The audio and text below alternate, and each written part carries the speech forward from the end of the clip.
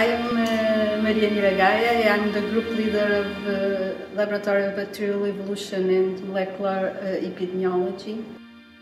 Our, in our lab, uh, we focus our research in a particular group of bacteria, which are coagulase negative staphylococci.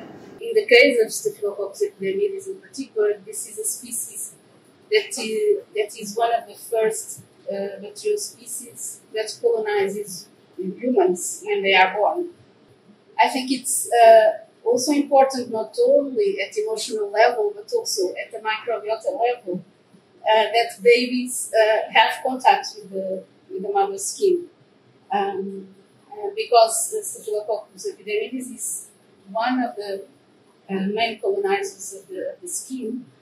Uh, and so when baby gets contact with the, with the mother, it's going to take on the Staphylococcus epidermidis, but also other bacteria that are in the skin of the, mother.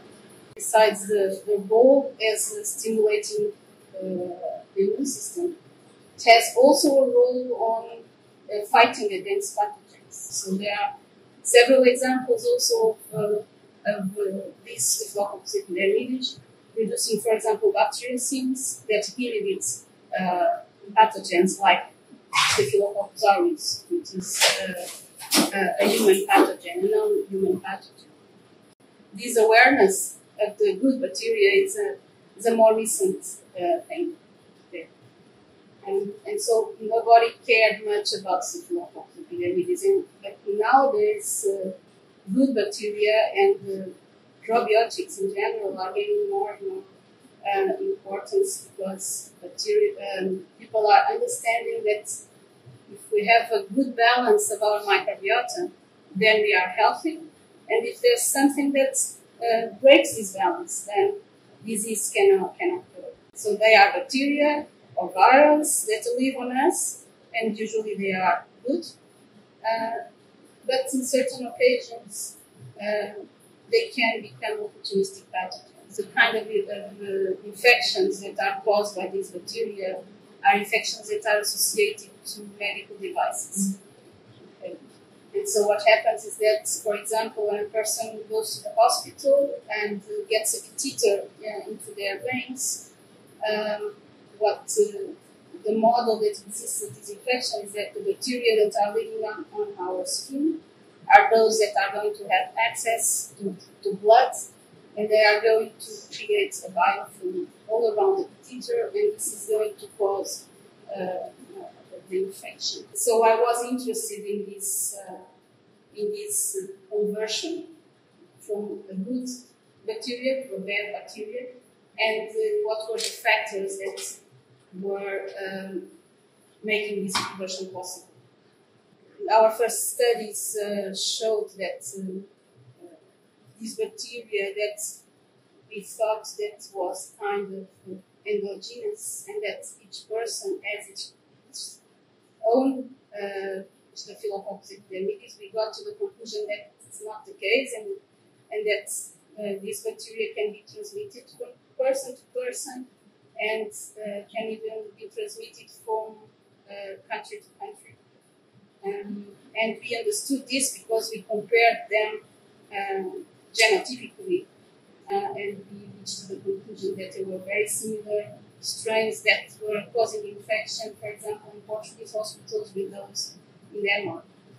Um, and so this was one of the first studies that we did. Um, and so we understood that actually uh, Staphylococcus epidermidis uh, infections, when they are opportunistic pathogens, are not caused by their own flora, but can be caused by uh, pandemic flows are disseminated um, everywhere. Uh, in this case, we we got to the conclusion because we could do a deeper analysis that we had two clones of Staphylococcus epidermidis mainly. And so we got curious to, to understand, okay, so we have two clones. Uh, are they exactly performing the same function in humans or are they performing different functions? And actually we got also to the conclusion that uh, there was one clone in particular that appears to be more pathogenic than the other. This means that uh, if they are present in the skin, then they are more probably going to cause disease if opportunity comes than the other one.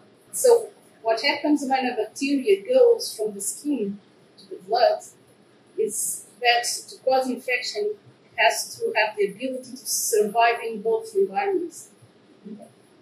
Uh, so we think that the, the, the more pathogenic clone is more successful because it is live in both environments, while the other clone is more adapted to the skin environment only.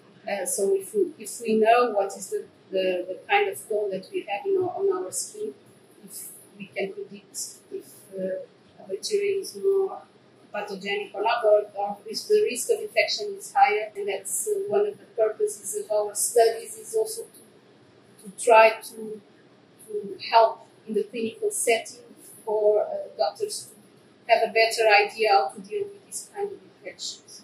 One of the questions that remains is, uh, is um, so if these two clones, how they interact with the human host if they interact in the same way or in, in a different way. Another question that uh, also we would like to, to understand is uh, how this bacteria can be so recombinogenic. Because we think if we can control this characteristic, we can somehow control the pathogenicity of this material. Uh, and so that's another line of research that we would like to follow.